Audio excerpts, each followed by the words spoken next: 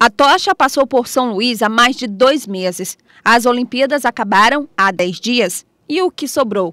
Bom, para esse pessoal aí que faz parte dos grupos contratados para se apresentarem durante a passagem do símbolo olímpico pela capital, só sobrou dor de cabeça.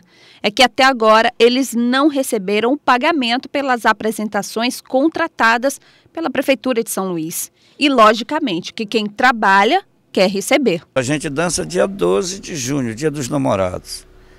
E está chegando dia 1 de setembro e não foi pago, eles vão dizer o quê?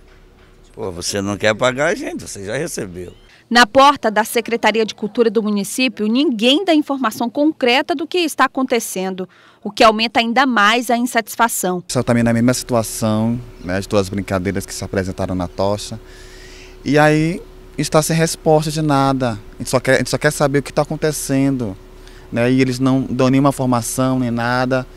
E aí está dependendo desse recurso, porque a gente se apresentou. Aqui no portal da transparência, o valor do convênio é de 250 mil reais. O Ministério da Cultura fez esse repasse no dia 25 de maio, ou seja, 20 dias antes da passagem da tocha olímpica pelo Maranhão. O grupo Os Feras, por exemplo, fez duas apresentações e, ao todo, 20 grupos participaram da festividade. Todos os grupos, todos os artistas assumiram o compromisso e esse dinheiro está desde o dia 5 de maio na conta da prefeitura, inclusive no, na, na, na, na tela transparência da, da prefeitura.